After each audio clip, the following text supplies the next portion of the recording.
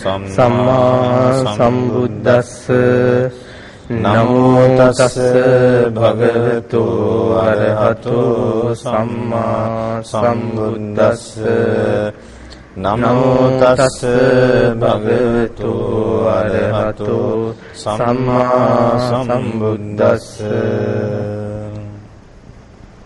තෙරුවන් සරණයි ඔබ සියලු දෙනාටම. ඔබේ හිත හදන ඒ වගේම සාදු සම්මත මාධ්‍යම හිමරක යෙදී තිබෙන බෞද්ධ නාලිකාව ලංකාවේ ප්‍රථම සහ එකම බෞද්ධ නාලිකාව ඔබේ දැවෙන තැවෙන සිත් සනසන්නට ඔබේ නිවසට ගොඩ වදින භාවනා වැඩසටහන සමගයි ඔබ අදත් මේ එකතු වී සිටිනේ. අප කෙරෙහි දයානුකම්පාවෙන් අදත් භාවනා වැඩසටහනට සම්බන්ධ වෙනවා. බලංගොඩ අම්බලංගොඩ ගල්දුව ගුණවර්ධන යෝගාශ්‍රම වාසී කල්යාණී යෝගාශ්‍රම සංස්ථාවේ ලේකකාධිකාරී පූජ්‍යපාද කහගොල්ලේ සෝමවංශ ස්වාමීන් වහන්සේ උන්වහන්සේව අපි පාද නමස්කාර පූර්වකව අදිනේදී භාවනා වැඩසටහනට පිළිගනු ලබනවා. අපි ඔබට මතක ඇති පසුගිය සතියේදී සාකච්ඡා කළා කායගත සති භාවනාව පිළිබඳව. පසුගිය සතියේදී කායගත සති භාවනාවේදී සම්පූර්ණ විස්තරයක් අපි ඔබ වෙත ගෙනාවා. මේ සතියේත් අපි සූදානම් අපි ප්‍රේක්ෂකයන් මේ වැඩසටහන සම්බන්ධ වෙන ඔබ පින්වත් ඔබගෙන් විශේෂ ගැටලු කිහිපයක්ම අපිට යොමු වුණා මේ කායගත සති භාවනාව පිළිබඳව. අපි සූදානම් කායගත සති භාවනාව පිළිබඳව තවදුරටත් අද දිනේදී සාරාංශගතව විස්තර කිරීමක් සිදු කරන්නට අවසාන වශයෙන්. අපි හැමදෙරුවනේ නැවතත් අපි අද දිනේ වැඩසටහනට ප්‍රවේශයක් විදිහට මේ කායගත සති භාවනාවේ සාරාංශයක් ඉදිරිපත් කර සිටු උතුමෙන් වත්නි හඳුරන්නේ. හොඳයි. තෙරුවන් සරණයි.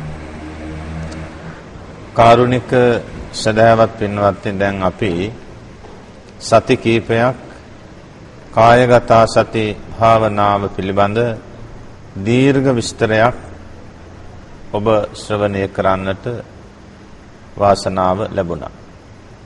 ඒ සෑම සතියකම පංචක වශයෙන් චක්ක වශයෙන් විදර්ශනා වශයෙන් ඉදිරිපත් කරන ක්‍රමය මම පැහැදිලි කර දුන්නා. බොහෝ දෙනාගේ ඉල්ලීමක් තියෙනවා මේ කායගත සති භාවනා පිළිබඳව සාරාංශයක් කරලා දුන්නොත් හොඳයි කියලා. බොහෝ දෙනෙක් ඉල්ලීමක්. මේ කායගත සති භාවනාව බෞද්ධයා නාලිකාව තුළින් විසුරුවා හැරියාම අප දැනගන්නට ලැබුණ අතිවිශාල පිරිසක් මේ භාවනාවට සිය සිත යොමු කළ ඇති බව. ලංකාවත් විදේශ රටවලත් සදහැවත් ජනතාව මේ දහමට යොමු වුණා. බෞද්ධ අබෞද්ධ කොටස් දෙකම. අබෞද්ධ ජනතාවත් බෞද්ධයා නාලිකාව තුළින් මේ භාවනා වැඩසටහනට සම්බන්ධ වෙනවා. බෞද්ධ ජනතාව විශේෂයෙන් මේ භාවනා වැඩසටහනට සම්බන්ධව කටයුතු කරනවා. භාවනාව පිළිබඳව ගිහි පැවිදි හැම කෙනෙකුටම අත්‍යවශ්‍ය දෙයක්. හරියට ව්‍යංජනයක තිබෙන ලුණු රස වාගේ. ලුණු නැත්තම් ඒ ව්‍යංජනය අනුභව කරන්න අමාරුයි. ඒ වගේ මේ ධර්මයෙහි භාවනාව කියන එක ව්‍යංජන රසයක් වාගේ බොහෝම රසවත් දෙයක්. භාවනාවෙන් කරන්නේ මේ දුවන පනින අසංවර සිත එක අරමුණකට ගැනීමයි භාවනාව කියන එකේ තේරුම. ඒක කවුරුත් හොඳට මතක තියාගන්න. භාවනාව කියන වචනේ තේරුම වැඩිම කියන එකයි. වැඩිම කියන අර්ථය තමයි භාවනාව කියන වචනයෙන් ගෙනහර දක්වන්නේ. අපි මේ කායගත සති භාවනාව ඉස්සෙල්ලාම ඉදිරිපත් කළේ අද ලංකාවාසී හැම කෙනෙක්ම බෞද්ධ ජාතිකයෝ හැම කෙනෙක්ම බුද්ධියෙන් කටයුතු කරන්නේ. අපි ඒකට කියනවා බුද්ධ චරිත කියලා. ප්‍රඥා චරිත කියන අපි එකට. ඒ ප්‍රඥා චරිතය ඇති අයට මේ කායගත සතිය හරිම ලේසි භාවනාවට ගන්න. හරිම පහසුයි. සමහරෙකුට හිතෙන්න පුළුවන් මේ කායගත සතිය මේ කේසා ලෝමා නඛා දන්තා තචෝ ආදි වශයෙන් මෙනෙහි කරනකොට මේක අනර්ථවත් දෙයක් නේද කියලා හිතෙන්න පුළුවන්. නමුත් බුද්ධ ධර්මයේ සඳහන් කරන මූල කර්මස්ථානයේ මූලික භාවනාව. දැන් බලන්න ඔබ අප කොයි කවුරුත් සැරසීමක් ඇති කරන්නේ මස්නහර ඇට ඇට මෙදුළු නෙමෙයි. ඒවා වැහිලා නැති. කේසා ලෝමා නකා දන්තා තචෝ කියන පහෙන් තමයි අපි මේ ශරීරය ලස්සන කරන්නේ. කෙස් ටික පීරනවා. ඒ වගේම ඇඟ සෙන් පවුඩර් ගල්වමින් දර්ශනීය කරනවා. ඒ වගේ විලාසිතාවන් විදිහට අඳිනවා පළඳිනවා. ඒ වගේම දත් ටික හොඳට මදිනවා.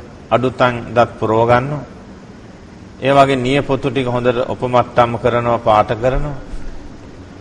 ඔන්න ওই විදිහට සරසනවා මේ කේසා ලෝමා නකා දන්තා තචෝ කියන පහ. දැන් බලන්න ඔක්කොම කෙස් ටික පැහිච්ච කෙනෙක් දිහා බලයිද කියලා. බලන්නේ නැහැ. ඒ වගේම දත් ටික වැටිලා දත් කහපාට වෙලා කෙනෙක් බලයිද නැහැ බලන්නේ නැහැ. හැම පිච්චිලා රැලි වැටිලා කවුරුත් බලයිද නැහැ. බලන්නේ නැහැ. ඒ නිසා කවුරුත් බලන්නේ මේ කේසා සුදු පාට වෙච්ච කෙස් ටික කළු පාට කරලා තියාගන්න. නාපු ගමන් යන ඔක්කොම. සුදු පාට එක කළු පාට කරලා තබා ගන්න බලන්නේ. නමුත් යටින් එන කෙස් ගහ සුදු පාටමනේ. ඒක නවත්තන්න බෑ. නවත්තන්න බෑ. ඒතර බුදුරජාණන් වහන්සේ හොඳ උපමාවක් දෙනවා මේකට. මොකක්ද උපමාව? ලස්සන කලයක් චිත්‍ර ඇඳලා කට වහලා තියෙනවා. ලස්සන කලයක්. මේකේ ඇතුලේ තියෙන්නේ දුර්ගන්ධ හමන අසෝචි පුරවල තියෙන. හොඳ උපමා මේක. ඉතින් යම් කිසි යන යන අය බල ඕ ලස්සන කලයක් නේ. බොහොම ලස්සනයි කියලා මේ කලේ ගුණ වර්ණනා කරමින් සමහර කලේ අතගාලත් යනවා. යම් කිසි කෙනෙක් අර පියන ගලවල බැලුවොත් මොකද වෙන්නේ? ආ දුර්ගන්ධයක් ඒකාන්තයෙන් හමනවා. දුර්ගන්ධයක් ඇති වෙනවා. අන්න ඒ වගේ තමයි අපේ ශරීරය. මේ සම ගැලෙව්වොත් එහෙම හැම පැත්තෙම සත්වයල කොටන්න පටන් ගන්න. ආ නවත්තන්න බෑ. රතු පාටයි. අන්න ඒ ස්වභාවය තමයි මේ හැමෙන් වහලා තියෙන්නේ. කෙස් වලින් දර්ශනීය කරලා තියෙන්නේ. ඒ වගේ නියපොතු වලින්, ලෝම වලින්, දත් වලින් මේ සරසලා තිබෙන්නේ ලෝකෙට පේන්න. එහෙමනම් බුද්ධියෙන් කල්පනා කළ බැලුවොත් Tamanටම දැනෙන්න ඕන අනේ මේ මා කරන්නේ බොරුවක් කියලා. බොහෝ දෙනා දැන් වර්තමානයේ බලන්න අතීතයේ වාගෙන මේ ගෙල පළඳනා අතේ පළඳනා කනේ පළඳනා මොකුත් නැහැ. බලන්නද ජන සමාජ බොහෝ දෙනෙක්. එවකට මිනිස්සු එහෙම නෙමෙයි මුළු අතේම වලලු දාගෙන. බෙල්ලේ මාල දාගෙන. කරාබු දාගෙන තමයි පාරේ හිම යන්නේ. අද නැහැ ඒක. යථා ස්වභාවයේ තේරුම් ගත්තේ අය ඔය පළඳනාවන් පළඳමින් ලෝකෙට බොරුව පෙන්වන්නේ නැහැ. අනේ මේ බොරුවක් කරන්නේ මේක වැඩක් නැහැ කියලා ඒගොල්ලෝ සාමාන්‍ය පරිදි ජීවත් වෙනවා. ඒතර ලෝතුරා බුදුරජාණන් වහන්සේ අපට පෙන්නනවා මේ කායගත සති භාවනාවෙන් කරන්නේ යථා ස්වභාවයේ පෙන්වීම. දේක යථා ස්වභාවයේ පෙන්වීම තමයි බුදුරජාණන් වහන්සේ මේ කායගත සතියෙන් අපට පෙන්වන්නේ. ඔය මහාන වෙන භික්ෂූන් වහන්සේට ඉස්සෙල්ලම දෙන්නේ කායගත සතිය. ඒ භික්ෂූන් වහන්සේ දිනපතාම කේසා ලෝමා නකා දන්තා තචෝ කියලා අනිවාර්යයෙන් මෙනෙහි කරන්න ඕන. අපේ තම කාටවත් පාඩම් හිටින්නේ නැහැ කියලා. පාඩම් නොහිටියට කේසා කියන වචනේ පාඩම්නේ. ආ එහෙමනම් මුළු ජීවිත කාලෙම කේසා කේසා කේසා කියලා මෙනෙහි කළා නම් කේසා පිළිකුලයි පිළිකුලයි කියලා හිතුවා නම් ලැබෙන පින සීමාවක් කරන්න බෑ. එහෙමනම් පාඩම් හිටින්න ඕන නෑ මේකට. කේසා කියන එක කාටත් මතකයි. එහෙමත් නැත්තම් මගේ මේ ශරීරය පිළිකුලයි පිළිකුලයි කියලා හිතුවත් හොඳටම ඇති. දැන් තේරෙනවනේ.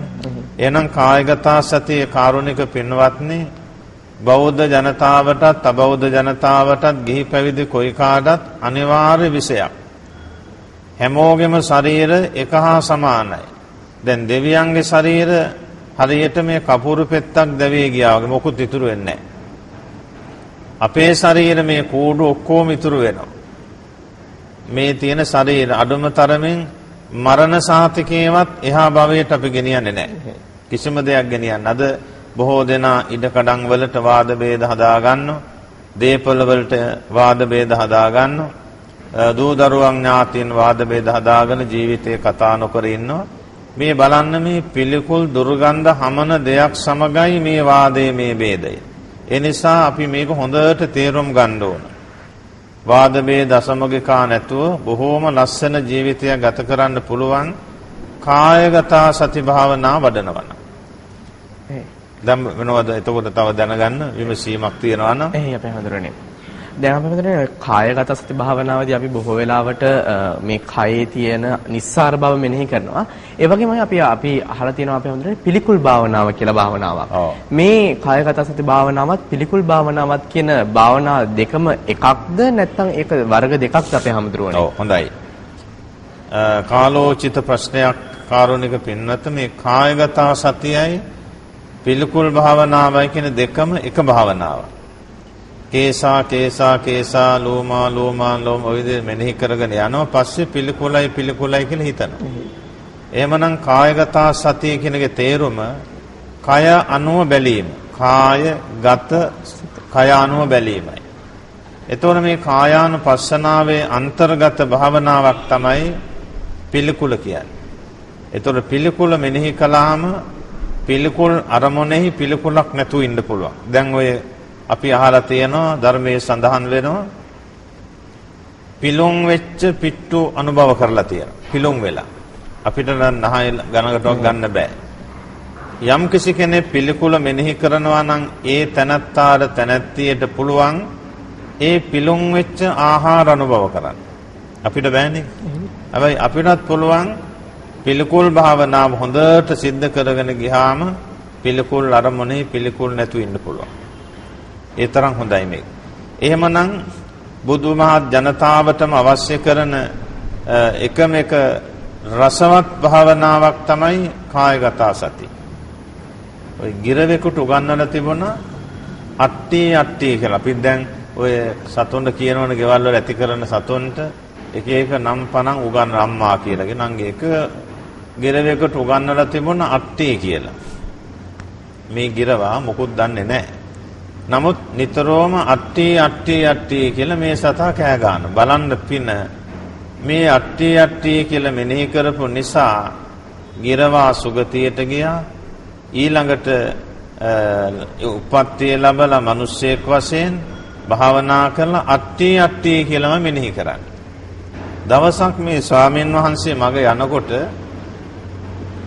ස්වාමියයි භාර්යාවයි හැමදාම අඬ දබර වෙනවා.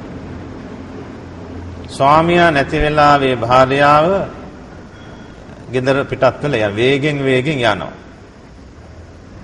මේ කාන්තාව ස්වාමින් වහන්සේ දැකලා දත් ටික ඉදිරියට යොමු කළ මේ සිනාපාල කළා තිබුණා. මේ ස්වාමින් වහන්සේ දැන් වඩින්නේ අට්ටි අට්ටි කියන සංඥාවෙන්.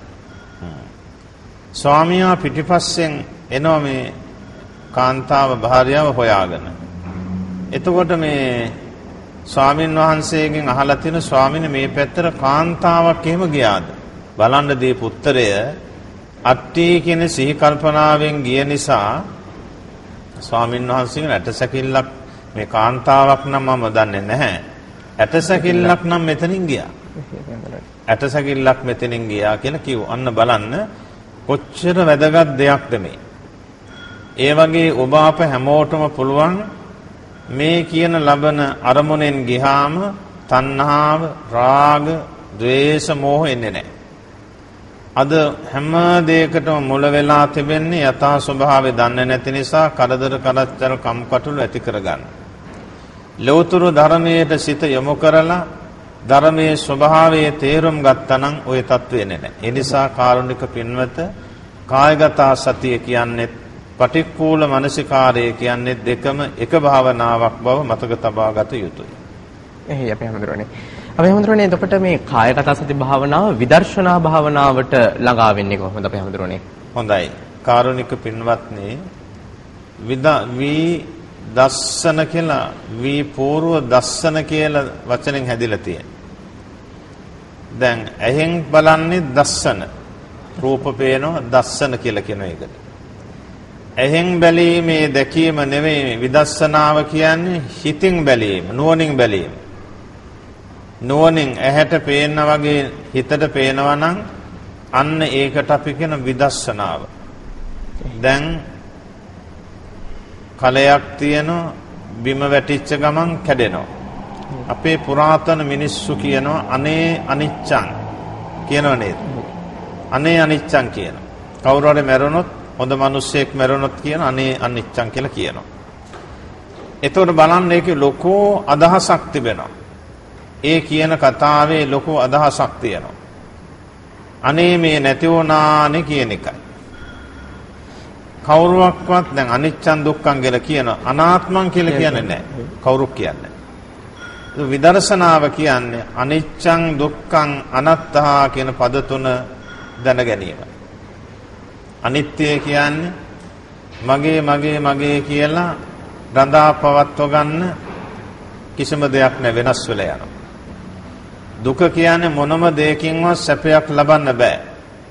දැන් බලන්න අපේ දෙමව්පියෝ ඉන්නවා වයසට යනවා, ගෙවල් දොරවල් තියෙන විනාශ වෙන විනාශ වුණා අපි අඬනවා වැළපෙන දුක. ඊළඟට බලන්න තම තමන්ගේ ශරීර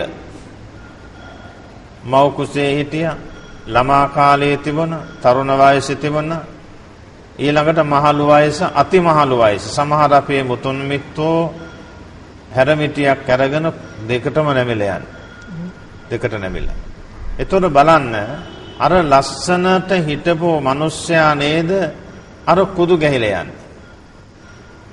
එහෙමනම් ආත්මවාදී කෙනෙක් නම් කුදු ගැහෙන්න බෑ.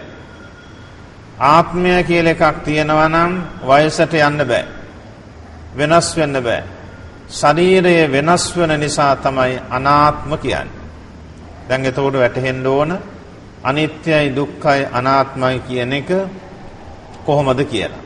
නුවණට වැටහෙන්න ඕන මේවා වෙනසෙලා යනවා විනාශ වෙලා යන දුකක් හට ගන්න මගේ කියලා මොකුත් තියාගන්න බෑ මරණය වෙනකොට තියාගත්තු දේවල් ඔක්කොම අන්සතු වෙනවා අපි හිතමු විශාල ධනස්කන්ධයක් තිබුණ ඉඩකඩම් තිබුණ යාන වාහන තිබුණ කාටවත් දුන්නේ නැහැ මරණ මරණෙදි ගෙනිච්චෙත් නැහැ ඒවා මේ පැත්තේ දාලා එහාට ගිය සමහර විට ඒ වාහනේ කර ඉඩ කඩන් වල පැත්තකටන ප්‍රේතෙක් වෙලා ඉන්නවා. ඒතර බලන්න මොනතරම් දුකක් විඳිනවද? යථා ස්වභාවය කල්පනා කළා නම් දාන සීල භාවනා පින් කරනවා. තේරෙනවනේ? ජීවිතයේ අස්තිර බව තේරුම් ගත්තු අය ධනට පිනට මහාර්ග ලෙස වියදම් කරමින් කටයුතු. දැන් මේ බලන්න මේ විහෙර විහාර හදලා තියෙනවා. මේ ධර්මාසනේ බලන්න විශාල ධනයක් වියදම් කරලා තියෙනවා. මේ වියහියදම් කරන්නේ අනිත්‍ය දුක්ඛ අනාත්ම වටහාගත්තු අය. මේ ජීවිතේ අස්තිරයි කියලා හිතා හිතපු අය පමණක් පින් කරනවා. අනිත් හැමෝම මසුරු කමෙන් වාසය කරන දුකට වැටෙනවා. ඒ නිසා කාරුණික පින්වත හැම දෙයක්ම විදර්ශනාවට ගන්න පුළුවන්. මගේ ශරීර කෝඩුව මේ ගෙවල් දොරවල් යාන වාහන මේ ලෝක ධාතු ඉරහඳ තාරක හැම දෙයක්ම හිතලා විදර්ශනාවට ගන්න පුළුවන් උදාහරණයක් වශයෙන් මම කියන්නම් අපේ පාඩම කායගත සතිය මේ කයෙහි කේශයෝ අනිත්‍යයි දුක්ඛයි අනාත්මයි එක මූලික පාඩම දැන් සමහර විට අමතක වෙලාද දන්නෙත් නෑ මං සති ගණනාවක් පැනක් තියාගෙන ලියා ගන්න කියලා මේ කයෙහි කේශයෝ වරණයෙන් පිළිකුල්ය. සටහනෙන් පිළිකුල්ය. ගන්ධයෙන් පිළිකුල්ය. ආශ්‍රිත කුණපයන්ගෙන් පිළිකුල්ය පිහිටි තැන් වශයෙන් පිළිකුල්. කරුණු පහයි. වරණයෙන් පිළිකුල්ය කියන බලන මේ කෙස්ටි ඔක්කොම කළු පාටයි. බත් පිඟානේ කෙස් ගහක් තිබුණොත් අප්‍රියක් අමනාපයක් එනවා. උයපු කෙනා කෙරෙහි තරාවක් එන්න පුළුවන්. එහෙමනම් කෙස් කියන්නේ ප්‍රියමනාප දෙයක් නෙමෙයි අප්‍රියමනාප දෙයක්. එහෙමනම් පිළිකුලමයි. සටහනෙන් පිළිකුල් මේක කිඳුරු කෙතිවා. කිඳුරු කිතුල් කිතුල් කෙඳි තියෙන්නේ. කොහුවල කෙඳි වගේ. ආන් ඒ වගේ සටහන්. එහෙමනම් ඒකත් ප්‍රේමනාප දෙයක් නෙමෙයි. ආ පීඩි තැන් වශයෙන් පිළිකුල මේ කෙස් පීඩලා තියෙන හිස් කබල උද. රත්තරන් වට්ටියක් උඩ නෙමෙයිනේ. රත්තරන් කබලක් උඩ නෙමෙයි. හිස් කබලක් උඩ තියෙන. පිළිකුල් ගොඩක් උඩ තියෙන. එන ඒකත් හරියන්නේ පිළිකුල්මයි. ආශ්‍රිත කුණපයන්ගෙන් පිළිකුල්ලේ මේ කෙස් ආශ්‍රය කරගෙන ඉන්නේ කවුද? ළඟ ළඟ ඉන්නේ කෙස්මයි. හොඳයි. හොඳයි නෙමෙයි. ඒ නිසා ඒ කේසියොත් පිළිකුල්ලේ. ඊළඟට ගන්ධයෙන් පිළිකුල්ලේ. මේ කෙස් පොඩ්ඩක් දවසන් දෙකක් තුනක් නොනා ඉන්න නොසෝදා ඉන්න බලන්න කොහොමද බලන්න. එහෙනම් කෙස් කියන්නේ සුගඳ හමන දෙයක් නෙවෙයි දුර්ගන්ධයි. සමහර සෙන් පවුඩර් යොදලා අපි සුවඳ ගල්ව ගන්නවා. එතකොට සුවඳ හිතේ එක සුළු මොහොතක් තිබෙලා නැති වෙලා යාවි. දැන් එතකොට පින්වත වර්ණයෙන් පිළිකොල්ලේ, සටහනෙන් පිළිකොල්ලේ, ගන්ධයෙන් පිළිකොල්ලේ, ආශ්‍රිත කුණපයන්ගෙන් පිළිකොල්ලේ, පිහිටි තැන් වශයෙන් පිළිකොල්ලේ. කරුණු පහයි. ඕක මම 32ටම කියලා දුන්නා. ඊළඟට මේ කෙස්යන්ු සත්වයක් නොවේ. සත්වයක් නොවේ. දැන් උදාහරණයකට කියනවා මහා සතිපට්ඨාන සූත්‍රයේ වී මෑ තල මුං ඇට වෙන් කරලා තියෙන ගොඩවල් ගොඩවල්. ඇස් ඇති කෙනෙක් අහනවා තව ඇස් ඇති කෙනෙකුගේ මේ මොනවද? වී මේ මොනවද? මුං ඇට. මේ මොනවද? තල. ඒ විදිහට උත්තර දෙනවා. අන්න ඒ වගේ බුද්ධියෙන් සමන්වාගත කෙනාට අහන මේ මොනවද? කෙස්. මේ මොනවද? ලෝම. මේ මොනවද? නියපොත ඔය විදිහට කියනවා.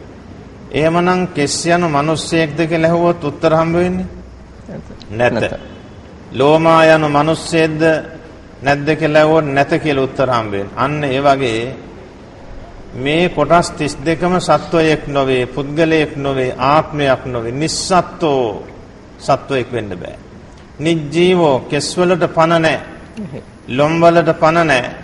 නියපොතු වල පණ නැහැ. එනිසේකද කියනවා නිජ්ජීවෝ ශුන්‍යෝ මොකුත් නෑ අන්තිමට. මේ මිනිස්සයා මැරුණා පොලුස්සල දැම්මන් පස්සේ ඔය කේසා ලෝමා නකා දන්තා තචෝ මොකුත් නැහැ. ඊළඟට අලු ටික ගිහලා ගඟට දැම්මහම අන්තිමේදී මොනම දෙයක්වත් ඉතුරු වෙලා නැහැ. ඔන්න ශුන්‍යෝ හිස්සුවකි. එහෙමනම් කේසයෝ අනිත්‍යයි දුක්ඛයි අනාත්මයි කේසයෝ අනිත්‍යයි දුක්ඛයි අනාත්මයි කියලා පුළුවන් තරම් මෙනෙහි කරන්න.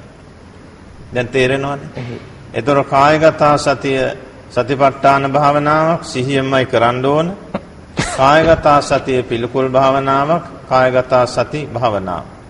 ඊළඟ කායගත සති විදර්ශනාවට නංවන ක්‍රමයයි ඔය මන් දැන් සඳහන් කළේ. එහේ අපි අපතනනේ ඔය විදර්ශනා භාවනාවේදී අනිත්‍ය දුක්ඛ අනාත්ම වශයෙන් අපි දකිනම කියලා විස්තර කරා. එනවා අපි හැමදෙරනේ දැන් අනිත්‍යයි දුක්ඛයි කියන වචනේ අපි නිරන්තරයෙන්ම අසලා මේ පිළිබඳ අවබෝධයක් තියෙනවා. නමුත් මේ අනාත්ම කියන වචනය අපි හරියට තේරුම් ගත්තාද කියලා ප්‍රශ්නය තියෙනවා. අපි හැමදෙරනේ කෙටියෙන් හෝ මේ අනාත්ම කියන වචනය පොඩ්ඩක් අපි තේරුම් ගමු. හොඳයි. අනාත්ම කියන දේ තේරුම් ගන්න එක හරිම අමාරුයි. පංච වර්ගීය භික්ෂූන් වහන්සේලාට තමයි ඉස්සෙල්ලම අනාත්ම ලක්ෂණ සූත්‍රය දේශනා කළේ. උන්වහන්සේ අහනවා මහන්නනි මේ ඇස අපි තව පොඩ්ඩක් මේ යමු මේ සත්‍යක නිගණ්ඨවාදීතුමා එතුමා එවකට ಭಾರತೀಯ ලිච්ඡවී රාජධානී ගුරුවරයා හැම රාජකුමාරයෙකුටම අවවාද අනුශාසනා කරන්නේ සත්‍යක විශාල උදරයක් තියෙන දැවැන්ත ඇඟක් තියෙන ශාස්ත්‍රවරයෙකුගේ ගෝලයෙක් වය. මෙතුමා අස්සජී කියන හාමුදුරු නමක් මුණ ගැහුණා. දවල් එයා කෑම අරගෙන නිදාගන්නේ නැහැ. ඇවිදිනවා ටිකක්. ඒක බොහොම හොඳයි. කවුරුණත් දවල් ආහාරයෙන් පස්සේ නිදා ගන්නවා නම් ඒක හොඳ මදි. එතුමත් ආහාර අරගෙන හැරමිටියක් අතට අරගෙන ටිකක් එහෙට මෙහෙට ඇවිදිනවා. ඔය යනකොට අස්සජී කියන හාමුදුරුව හම්බ වුණා. අහනවා අස්සජී හාමුදුරුවනේ මේ බවත් ගෞතම මේ තරම් විශාල පිරිසක් සංවර කරන්නේ කොහොමද? මේක ඉතා වැදගත් ප්‍රශ්නයක්. උන්වහන්සේ කියනවා සත්‍යකතුමනි උන්වහන්සේ සියලු සංස්කාරයෝ අනිත්‍යයි දුක්ඛයි අනාත්මයි කියලා යථා ස්වභාවය පහද දෙනවා. ඒකෙන් තමයි සංවර කරගන්නේ. මෙතුමා මොකද්ද කිව්වේ? එතුමා කියන ඔන්න ගෞතමයන් වහන්සේට වැරදිච්ච තැන. ඔහොම වෙන්න බෑ කිව්වා. ඒ ගෞතමයන් වහන්සේගේ මිත්‍යා දෘෂ්ටිය දුරු කරන්න ඕන. මොකද්ද දෘෂ්ටිය කියන්නේ අනිත්‍යයි දුක්ඛයි අනාත්මයි. එයා කියන වැරදි කියලා. මම දැන් කතා කරනවා කියලා ගිහිල්ලා මෙයා දැන් ලිච්ඡවි කුමාරවරුත් කතා කරගෙන බුදුරජාණන් වහන්සේ විශාලාවේ හිටියේ ඊට වැඩ ගිහිල්ලා වැන්දෙත් නැහැ සුවඳ සාකච්ඡාවකට යෙදিলা අහන එකපාරම ගෞතමයන් වහන්සේ ඔබ වහන්සේ මේ පිරිස සංවර කරන්නේ කොහොමද? පදාලා සත්‍යකේ මම අනිත්‍යයි දුක්ඛයි අනාත්මයි කියන එක පැහැදිලි කරලා දෙනවා. කිසිම දෙයක් ගත යුතු දෙයක් නැති බව පැහැදිලි කරලා දෙනවා. ස්වාමීනි ඔන්න ඔබ වහන්සේගේ මිසදුටුකම ඔතන. ඔය ධර්මේ වැරදි කිව්වා. බලන්න උන්වහන්සේ ඇහුවා සත්‍යකය ඔබට පුළුවන් ද වෙනස් වෙන්නේ නැතුව ඉන්න. හොඳට කල්පනා කරලා බලන්න.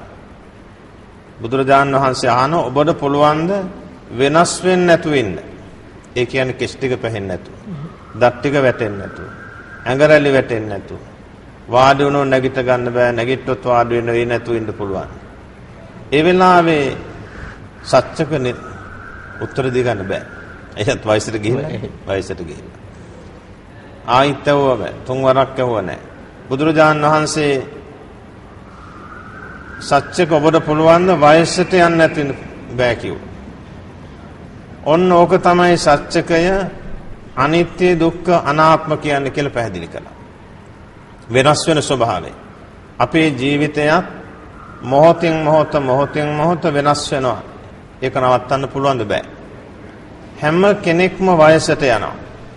හැම කෙනෙක්ම මැරෙනවා. එහෙමනම් පින්වත්නි කිසිම කෙනෙකුට මේ දේ නවත්තන්න බෑ. ඕකට තමයි අනාත්ම කියන්නේ. ඒතර දැන් අපි හැමෝම කියනවා අනිත්‍යයි දුක්ඛයි අනිත්‍යයි දුක්ඛයි එච්චරයි කියන්නේ.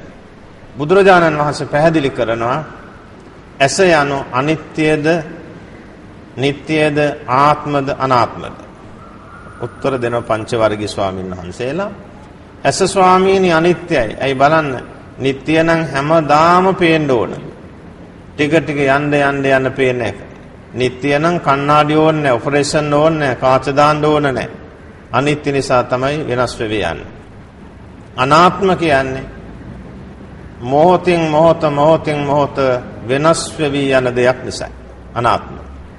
දැන් ඒතර තේරෙනවානේ මේ ශරීරය පවත්ව ගන්න බැරි නිසා අනාත්මයි. මේ ලෝකයේ පවත්ව ගන්න බැරි නිසා අනාත්මයි. මේ මොහොතේ යටත් පිරිසෙන් අබයටේක තරමක පස් ඩිංගක් ඉතුරු වෙන්නේ නැහැ. ඔන්න ඕකයි අනාත්ම කියන සංඥාවට වැටෙන්නේ. එහෙමනම් කොයි කවුරුත් අනිත්‍යයි දුක්ඛයි අනාත්මයි කියන මේ ධර්මතා තුන හොඳට තේරුම් ගන්න ඕන. එහෙමයි පැහැදිලිවනේ. අපි හැමදෙරේ එතකොට මේ කායගත සති භාවනාව බුදුදහම විස්තරන සූත්‍ර මොනවද අපි හැමදෙරේ? ඔව් කාරුණික පෙන්වත්තේ දැන් කායගත සති භාවනාව විශේෂයෙන් අපි කියන්න ඕන මහා සතිපට්ඨාන සූත්‍ර දේශනාව. ගිරිමානන්ද සූත්‍ර දේශනාව. තව අංගුත්තර නිකායේ කායගත සතිය පිළිබඳව සූත්‍ර රාශියක් තියෙනවා. කායගත සතිය කියන්නේ කේසා ලෝමානකා ඒ ටිකමයි. ඒතර මේ සූත්‍ර වලින් උන්වහන්සේ පැහැදිලිවම උගන්වනවා මේ කායගත සති භාවනාව වඩන ක්‍රමය කොහොමද කියලා. දැන් යටත් පිරිසෙන් මම කලිනුත් කිව්ව පාඩම් කරගන්න අමාරු නම් එක වචනයක් පමණක් මෙනෙහි කරන්න කියලා. හොඳටම ඇති. අපි හිතමු දැන් කේසා කියලා විතරයි පාඩම් තියෙන්නේ. වෙන මොකුත් පාඩම් නැහැ. එහෙනම් හොඳටම ඇති කාරුණික පින්වත්නි භාවනාවට වාඩි වෙලා කේසා කේසා කේසා කියලා මෙනෙහි කරන්න. බුදුරජාණන් වහන්සේ වදාලා යම්කිසි කෙනෙක් වාඩි වෙලා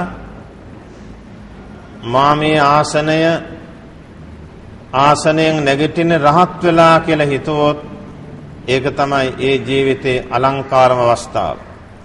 ඒ වගේ යම්කිසි කෙනෙක් භාවනාවට වාඩි වෙනවා නම් විශාල පිනක්. භාවනා කරන්න ඕන කියලා පත්කඩයක් කෙලලා වාඩි වෙලා වම් අත උඩ දකුණු අත තබාගෙන নমස්කාරයේ තුන් පාරක් කියලා කේසා කේසා කේසා කේසා කියලා මෙනෙහි කරනවා නම් ඕක තමයි කායගත සති භාවනාව. අනේ මට පාඩම් හිටින්නේ භාවනා කරන්න බෑ එහෙම හිතන්න එපා. මේ ලෞතුරා ධර්මයේ පින්වත්නි ඕනම කෙනෙකුට වැඩ ප්‍රයෝජන ගන්න පුළුවන් ධර්මයක්. අකුරක්වත් පාඩම් හිටින් නැති අකුරක්වත් ලියන්න කියන්න දන්නේ නැති කෙනාට උනත් මේ භාවනාව වඩන්න පුළුවන්. ලියන්න කියන්න ඕන නෑ ඒක. තමාගේ ශක්ති ප්‍රමාණයෙන් බුද්ධ ධර්මය ඇවිල්ලා පච්චත්තං වේදිතම්බෝ විඤ්ඤෝහි තමාගේ නැනපමණින් මේ ධර්මයේ තේරුම් ගන්න ඕන. දැන් මේ එක පින්නතෙකුට පුළුවන් මේ කායගත සතිය හැම විදිහටම මෙනෙහි කරන්න. අනිත් කෙනාට බෑ.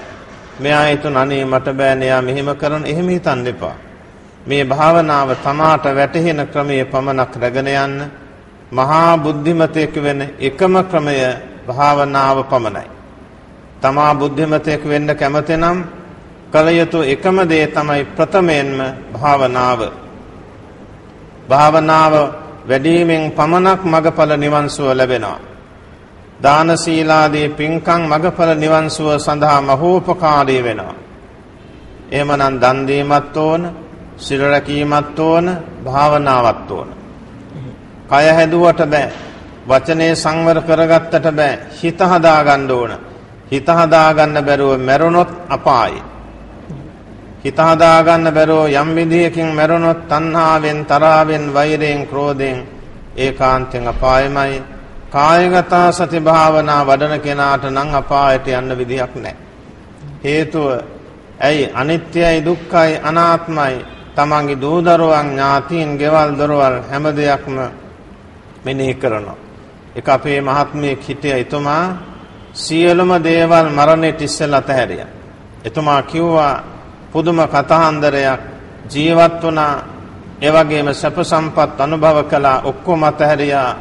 මේ ශරීර කෝඩුවත් ඉවත දාලා හිත පමණයි ඊළඟ භවයට යන්න කියලා දැන දැනම තමයි මරණයටපත් උනේ බලන්න ඒ වගේ මැරෙන්න තියෙනවා නම් කොච්චර හොඳද? කොච්චර වටිනවද? එහෙමනම් කායගත සතිය පටික්කුල මනසිකාරය විදර්ශනා භාවනාව ඇතුළත් දේශනාවන් තමයි මහා සතිපට්ඨාන සූත්‍ර දේශනාව. ඒ වගේම ගිරිමානන්ද සූත්‍ර දේශනාව අංගුත්තර නිකායෙහි කායගත සති සූත්‍ර දේශනාවන් අපිට උදාහරණ වශයෙන් දක්වන්න පුළුවන්. එහෙමයි අපේ හැමදෙරෝනේ දැන් අපි පසුගිය සතියවල ඉඳලා මේ කායකද සති භාවනාව පිළිබඳව සාකච්ඡා කළා. ඒ අනුව මේ කායකද සති භාවනාව වැඩි යුත්තේ කෙසේද අපි හැමදෙරෝනේ? අපි දන්නවා භාවනාවක් සිදු කරන්නට ප්‍රථමයෙන් පූර්ව කෘත්‍යයක් සිදු කරන්නට ඕනේ. මේ භාවනාවත් සිදු කරන්නට ප්‍රථමයෙන් මොන හරි පූර්ව කෘත්‍යයක් තියනවද අපි හැමදෙරෝනේ? කාරුණික පින්වත්නි ඒ ප්‍රශ්නයත් කාලෝචිත ප්‍රශ්නයක් මේ වේලාවේ හැටියට භාවනාවට ඉස්සෙල්ලා වාඩි වෙන්න එපා. බිම වාඩි වෙන්න බැරි නම් බංකුවකාරී මේ විදිය ගැට්ටක් අයිනේ හරි වාඩි වෙලා බිම වාඩි වෙන්න පුළුවන් නම් බිම වාඩි වෙලා මෙට්ටයක් උඩ හරි වාඩි වෙලා තමන්ගේ දෑත නලල මතට එකතු කරලා නමෝ තස්ස භගවතෝ අරහතෝ සම්මා සම්බුද්දස්ස කියලා নমස්කාරය තුන් වරක් කියලා. ඊට පස්සේ ඉතිපිසෝ ගාතාව ස්වාක්ඛාත ගාතාව සුපටිපන්න ගාතාව කියනවා. මාගේ ජීවිතයේ බුද්ධ රත්නයේද ධර්ම රත්නයේද සංඝ රත්නයේද පූජා කරමි පූජා වේවා. කල්යාණ මිත්‍රයන්ට පූජා කරම පූජා වේවා කියලා වාඩි වෙලා දැන් තමන්ගේ භාවනාවට සූදානම් වෙන්න ඕන. දැන් ඉන්දියාවේ නම් හැමෝටම පුළුවන් බද්ධ පරයන්කේ. බද්ධ පරයන්ක කියන්නේ අර බුද්ධ ප්‍රතිමාවේ තියෙන යටිපතුල් පාදයක උඩට හැරිලා වාඩි වෙලා ඒ පතුල් දෙක දන හිසට උඩින් අරන් තියාගන්න. ඒකට බද්ධ පරයන්. අද අපේ බොහෝ දෙනා පුරුදු නැති නිසා වාඩි වෙන්න අමාරුයි. කෙසේ හෝ ක්‍රමයකින් වාඩි අබද්ධ පරයන්කෙන් වාඩි වුණාම කය ඍජු වෙන ඍජු වෙනවා ලේ දහත් හොඳට ගමන් කරනවා හොඳට කියන දේ වටහා ගන්න පුළුවන්. බුද්ධි වර්ධනයේට අවශ්‍ය කරන ආසනයක් තමයි පద్මාසනය. යෝගී ක්‍රමවලින් එකක්. ඉතින් මේ බද්ධ පරයන්කෙන් වාඩි වෙලා එහෙම නැත්නම් පුළුවන් ආසනයකින් වාඩි වෙලා ওই පූර්වක්‍ෘත්‍ය සිල් සමාදන් වෙලා පූර්වක්‍ෘත්‍ය කරලා මේ කායගත සතිය කේසා ලෝමා නකා දන්තා තචෝ ආදි වශයෙන් කොටස් ටික මෙනෙහි කරනවා. වරක් දෙකක් තුනක් නෙවෙයි බොහෝ වේලාවක් මෙනෙහි කරන්න ඕන. අනුලෝම ප්‍රතිලෝම අනුලෝම ප්‍රතිලෝම මෙනෙහි කරනවා. මෙනෙහි කරලා ඉවර වෙලා පටික්කුල වශයෙන් මෙනෙහි කරලා අනිත්‍ය දුක්ඛ අනාත්ම වශයෙන් මෙනෙහි කරලා මේක දිගටම කරගෙන යන ක්‍රමයයි ඔන්න ඔය වාඩි වීමේ ඉරියව්ව හැබැයි වඩාත් හොඳයි හේතු වෙන්නේ නැතුව ඍජුව ඉන්නවා. මොකද දැන් හේතු වුණාම අපිට මේ ඒ පිටට තමයි දැනෙන හේතු වෙච්ච ස්පර්ශය. හේතු වෙන්නේ නැතුව වාඩි වුණොත් තමයි බොහොම හොඳ. අද ධර්මා ධර්මශාලාවක බැලුවොත් හැමෝම කකුල් දෙක දිග අරගෙන ඒක ටිකක් හොඳ මදි. බුදුරජාණන් වහන්සේගේ පැත්තටත් කකුල් දික් කරලා. දේශකයන් වහන්සේගේ පැත්තටත් කකුල් දික් කරලා. ඒක නැතුව අපි සංවර වුණොත් හොඳයි. අර්ධ පරියන්කින් වාඩි වෙන්න පත්කඩයක් දාගෙන මිට්‍රස් එකක් හරි දාගෙන පිටිපත්වල දෙක පිටිපස්සට යවලා ඒකට අපි වාඩි වෙලා ඉන්නේ. අර්ධ කකුල් දික් කරගන්නේ නැතුව. කකුල් දෙක දික් කර ගත්තාම වෙන්නේ ඉතින් අපිට හැම පැත්තෙම බැලුවොත් අගෞරවයක් වෙන්න පුළුවන් නේ. එහෙම බැරි නම් අර පොඩි පුටුවක් ගෙනාවම පුටුවේ වාඩි වෙනවා. ඒ කාගවත් පැත්තට පය දික් වෙන්නේ නැහැ. ඒ නිසා දැන් විශේෂයෙන් බලන්න ওই තායිලන්ත බුරුම ජාතිකයෝ වඳින ක්‍රමය. ඒක අපිට ආදර්ශයක්. හැම කෙනෙක්ම මහත්තයා ඒගොල්ලෝ වඳින්නේ බොහෝම සංවරව. හොඳට වාඩි වෙලා. කාන්තා පක්ෂයම හොඳට වාඩි වෙලා කකුල් දෙක අරගෙන ඒගොල්ලෝ වඳින්න පුදන්නේ නැහැ.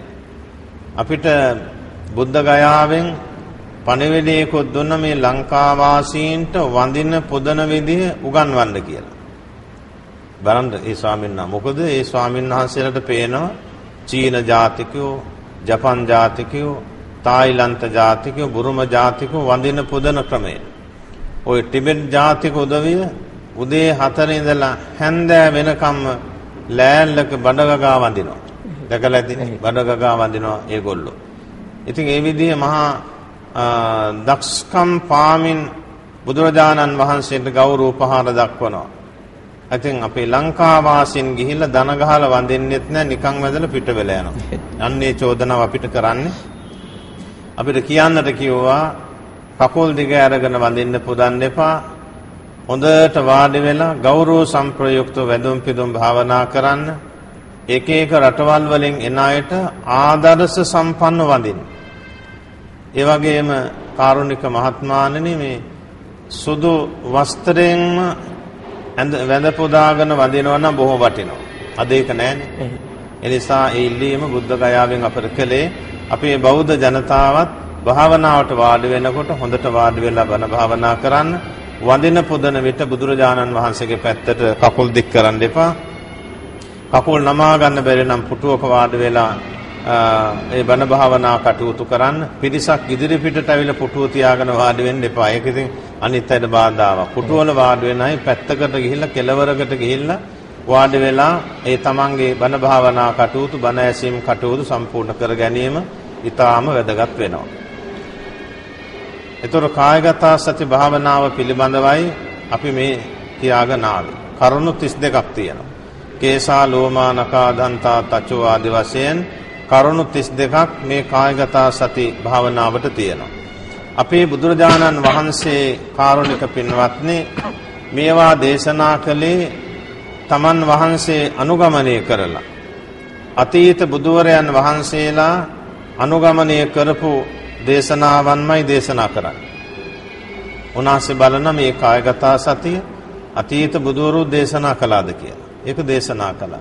මේ හැම සූත්‍රයක්ම ඒ කියන්නේ ගැඹුරු සූත්‍රයක්ම දේශනා කළේ දිල්ලිය අද දිල්ලිය කියන්නේ දිල්ලිය වකට කුරු රට කියලා කියන්නේ කුරු රට.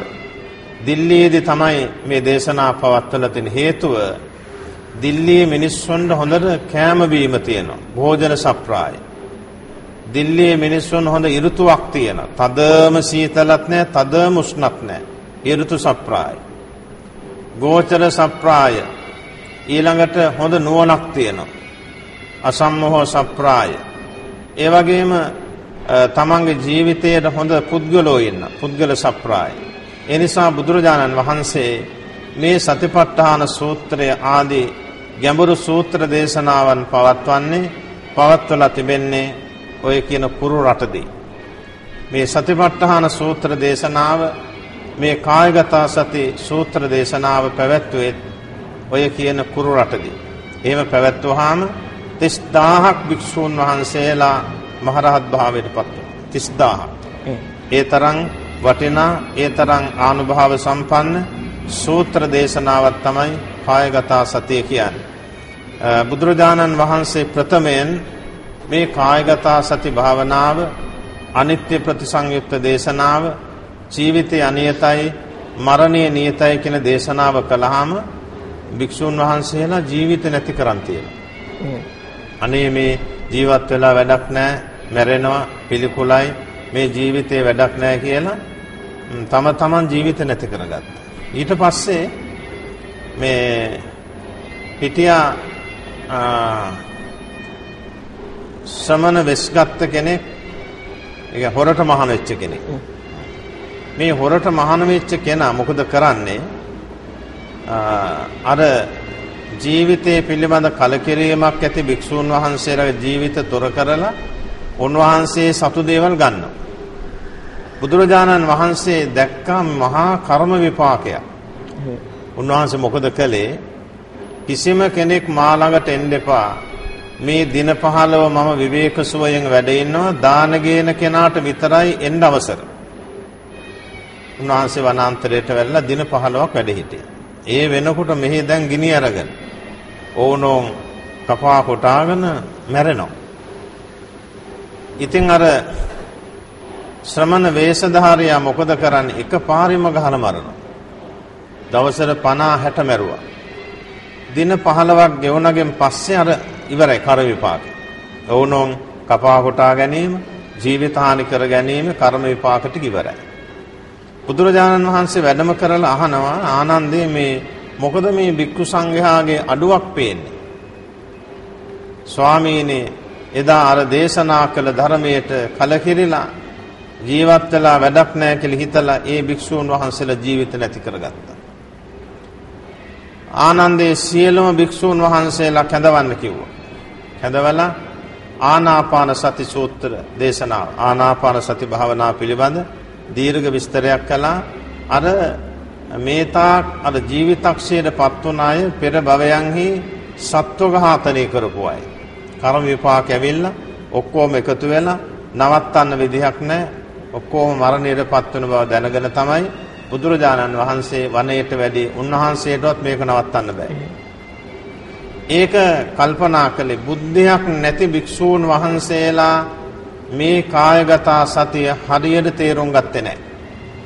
උන්වහන්සේලා හරියට තේරුම් ගත්තනම් ওই ජීවිත නැති කර ගැනීම කරන්නේ බුදුරජාණන් වහන්සේ ප්‍රඥාව ඇති අයට පමණයි කායගත සතිය දේශනා කළේ. හොඳට මතක තියාගන්න පින්වත්නි කායගත සතිය වඩන්න උපදෙස් දුන්නා අවවාද කළා අනුශාසනා කළා බුද්ධිය තියෙන අයට පමණක්.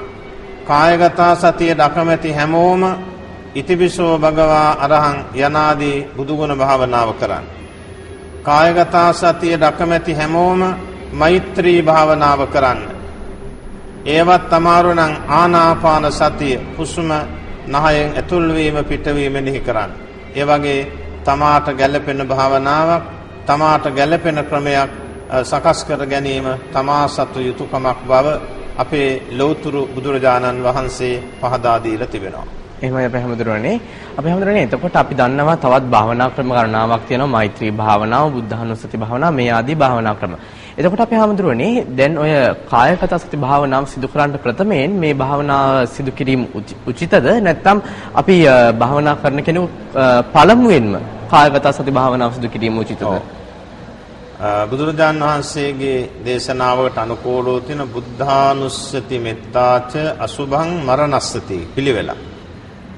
පළමුව බුදුගුණ භාවනාව වැඩි යුතුයි.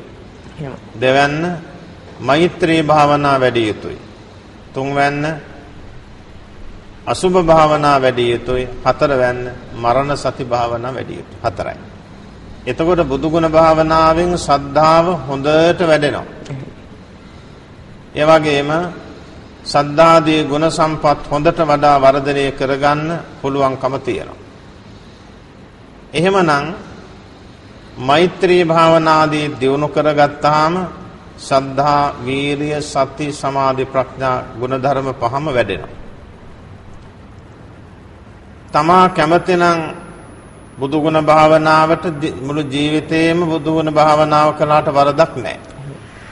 ඉස්සෙල්ල සතර කමඨහන් වඩලා අපි ඉස්සෙල්ල මේක ඉතිපිසෝ ගාතාව. ස්වාක්කාද සුපටිපන්න ජීවිතය මාගේ ජීවිතයේ පිළිකුල්ලේ පිළිකුල මාගේ ජීවිතය අනියතයි මරණීය නියත ওই ටික කරලා අපි භාවනාවට බැස ගන්න.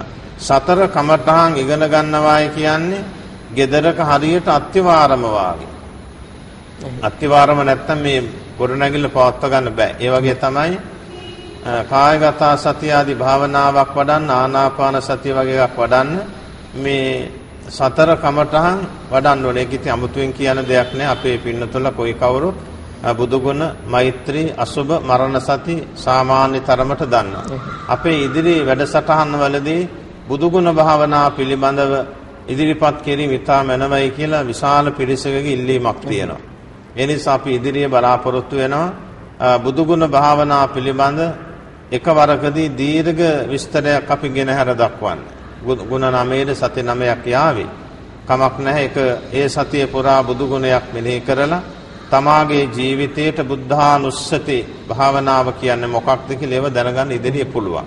අපි කායගත සති ඉස්සෙල්ලම ගෙනාවේ. අද මේ ජන සමාජයේ ලෝකයේ තියෙන තත්වයට පටහැනි මේ දේ පෙන්වන්නේ. අද නගරයකට ගියත් වෙළඳ සැලකට ගියත් පාරක ගියත් පේන්න තිබෙන්නේ රාග දෝෂ මෝහ ආදී කෙලෙස් ඉස්මතු වෙන දේවල්. අන්න ඒක නැති කිරීම සඳහායි මේ පටික්කුල මානසිකාරය කායගත සති භාවනා විශ්සෙල්ලම දුන්නේ. භික්ෂූන් වහන්සේගේ ජීවිතයේ සරුසාර කර ගැනීම, භික්ෂු ජීවිතයේ ලස්සන කර ගැනීම, භික්ෂු ජීවිතය සැපවත් කර ගැනීම සඳහා බුදුරජාණන් වහන්සේ කායගත සතිය අපර දේශනා කළා. ඒකයි මම කායගත සති භාවනාව දීර්ඝ විස්තරයක් මේ සති ගණනාවක් කියාගෙන කියාගෙන ආවේ. ඒතොර පින්නතුල්ලාට දැන් තිබෙන්නේ මේ කායගත සති භාවනාව හොඳට ඉගෙනගෙන අනුන්ටත් මේක කියලා දෙන්න ඕනේ. තමන් මේ භාවනාවට මේක රැගෙන තමන්ට වැටහෙන ආකාරයට කියා දුන්න ආකාරයටම තමන්ගේ ගමේ පන්සලේ විහාරස්ථානයේදී හැම කෙනෙක්ම මේ භාවනා පන්තියක් කරලා ඒ විහාරස්ථානෙට සිල් ගන්න එන අයට මේ භාවනා පුහුණුවක් කරවන්න. එතකොට හැම විහාරස්ථානයකම හොඳ වැඩසටහනක් කරගෙන යන්න පුළුවන්. අපිට හැම විහාරස්ථානයකටම එන්න බෑ.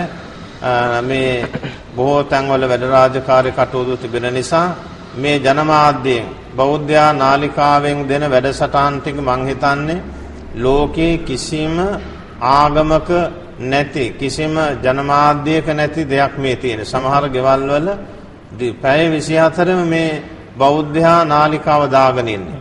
මේක බලන්න දරුවෝ ටික හදා ගන්න පුළුවන්. ගෙදරට ලොකු පිහිටක් උදේ අවදි වෙනකොටම බුද්ධ ගයාව පේන්නේ. ඒ වගේ දෙයක් උදේට දැක ගන්න තියෙනවා නම් මුළු දවසටම හොඳයිනේ. එහෙමනම් පින්වත මේ බෞද්ධයා නාලිකාව රැක ගන්න ඕන. මේ නාලිකාව හැම ගෙදරකම සම්බන්ධ කර ගන්න ඕන. රුපියල් 1000ක් 2000ක් වැය වුණා කියලා හිතන්න එපා. ඒ කියන්නේ මේ නාලිකාවෙන් එක දරුවෙක් හැදුනා නම් අපේ වයසටපත් වෙලා ඉන්න මව්පියෝගේ ඇඳ ළඟ මේ නාලිකාව තැබුවා නම් මොන තරම් වටිනවද? වේදනාව නැති වෙලා යනවා. දුවන පනින හිත අසංවරකම නැති වෙලා යනවා. වැඩට ගිහිල්ලා එනකන් ඒ අම්මට ඒ තාත්තට වයෝවෘදයට මේක බලාගෙන ඉන්න පුළුවන්. මේකේ කිසිම අප්‍රිය අමනාප දෙයක් යන්නේ නැහැ.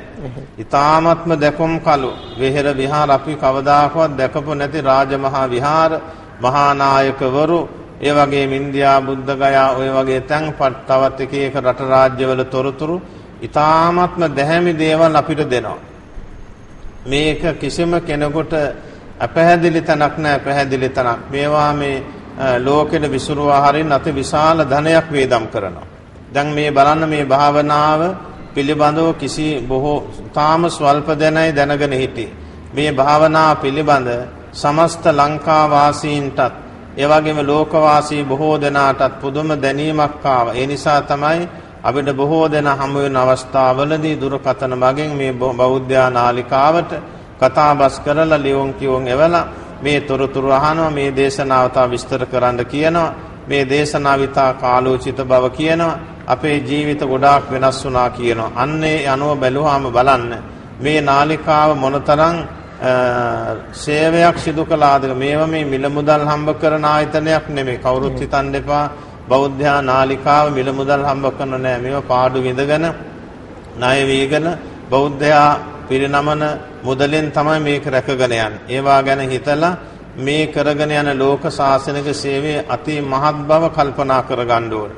මේ භාවනා වැඩසටහන් ධර්ම දේශනා ජාතක දේශනා අභිධර්ම දේශනා බලන්න කවදාකවත් මේ පින්නතුන් අහලා තියෙනවද channel එක මේ වගේ විස්තර දේශනාවක් ලෞතුරු ධර්මයේ කවරක්ද කියලා දැන් අහන්න පුළුවන් ඕනම කෙනෙකුට පුළුවන් බුදුරජාණන් වහන්සේගේ ධර්මයේ මොකක්ද කියලා ඒ ඔක්කොම පැය 24 පුරාම විසුරුවා හරිනවා ඒ වගේම දැකපො නැති නායක ස්වාමීන් වහන්සේලා දැක බලා ගන්නට වාසනාව ලැබුණා ඒ වගේම නොයෙක් නොයෙක් විහෙර විහාර දැක ගන්න ලැබුණා. භාවනා පන්ති දැක ගන්න ලැබුණා. ධර්ම දේශනා ඒ අනුව අපි බැලුවාම බෞද්ධ නාලිකාවට මේ භාවනා පන්තිය ගෙනහර දක්වලා ලෝක ලංකාවාසීන ලෝකවාසීන්ට භාවනා පිළිබඳව නැඹුරු වීමකට අවකාශ සලසා දීම කොච්චර වටිනවද කියලා තම තමාම කල්පනා කිරීම ඉතා වැදගත් වෙනවා.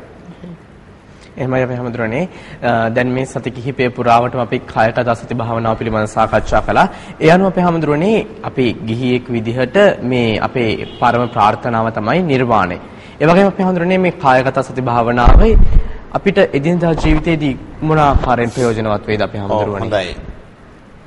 එදිනදා ජීවිතයේට මේ කායගත සතිය බලපානවා තණ්හා තරහා ක්‍රෝධ වෛර ඊර්ෂ්‍යා අඩු කරගන්න පුළුවන්. ඒක තමයි අපිට ඕන කරන ප්‍රධානම දේ. තණ්හාව, තරහව, වෛරය, ඊර්ෂ්‍යාව මෙන්න මේවා අපි අඩු කරගන්න අපි මේ භාවනාවෙන් වෙන් තණ්හාව වැඩි. තරහව, ඊර්ෂ්‍යා, වෛරය වැඩි. ඒ නිසා මේ භාවනා පටික්කුල මානසිකාරයේ මේ කායගත සති භාවනාවෙන් අපේ ජීවිතයට ලැබෙන ප්‍රධානම ආනිසංසය තමයි පංච නීවරණයන් අඩු කරගන්න පුළුවන්. ඒ වගේම අර අසංවර වූ සිත සංවර කරගන්න පුළුවන්. හැමෝම කල්පනා කරලා බලන්න මේ කායගත සති භාවනා වැඩිමෙන් තමාගේ ජීවිතයට මොනතරම් අනුසසක් ලැබුණාද කියලා තමන්ම තේරුම් ගන්න ඕන. වෙනදට වඩා සද්ධාවන්තද වෙනදට වඩා ගුණවන්තද වෙනදට වඩා කෙලෙස් අඩුද වෙනදට වඩා ත්‍යාගවන්ත බව තියනවාද සිල්වන්ත බව තියනවාද කියලා තමන්ම කල්පනා කරන්න. ඒතකොට කල්පනා කළාම තමන්ටම දැනෙනවා ඔව් මම දැන් බොහොම හොඳ කෙනෙක්. කලින්ට වඩා සිල්වත් ගුණවත් කෙනෙක් කෙලෙස් අඩුයි දම් පින්කම් කරනවා ශාසනයට ලැබී කියලා. එහෙම කල්පනා කරලා තමන් ඒ භාවනාව නවත්තන්න නැතුව දිගටම ගෙන යන්න ඕන. එහෙම දිගටම ගෙන යාගෙන යනකොට තමන්ට දැනේවි මේ භාවනාව කොච්චර වටිනවද කියලා. ඊළඟට මරණයේදී මේ භාවනාව සිහිපත් වුණොත් ඒකාන්තයෙන් සුගතියකමයි උපත ලබන්නේ. මරණ මංචකයේදී යම් විදියකින් මේ භාවනාව තමාගේ හිතට ආව සුගතියකමයි. එක චිත්ත වීතියකට එමන එක සිතකට මේ භාවනා අරමුණක් මෙනෙහි කරගත්තාම විනාඩි 5ක් භාවනා කළොත් මොනතරම් චිත්ත වීති සංඛ්‍යාවක් ලැබෙනවද? එයින් ලැබෙන පින කාරුණික පින්වත්නි සීමාවක් කරන්න පුළුවන් කමක් නැහැ. ඒ නිසා કોઈ කවුරුත් පුළුවන් තරම් මේ භාවනාවට නැඹුරු වී කටයුතු කිරීම කාලෝචිතයි. ගිහි පැවිදි કોઈ කවුරු වුණත් දවසට ටික වෙලාවක් හරි වාඩි වෙලා මේ කායගත සතිය හරි භාවනා යම්කිසි භාවනාවක් සම්පූර්ණ කරගෙන යෑම ඊටාම වැදගත් වෙනවා. ඒතකොට මෙලව අදාදම අනුසස් තියෙනවා. දියුණුවක් ලැබෙනවා. මරණෙදී යහපතක් වෙනවා. සංසාර ගමන සුගතියක් වෙනවා. නිර්වාණ ධර්මය අවබෝධ කරගන්න පුළුවන්කම තියෙනවා.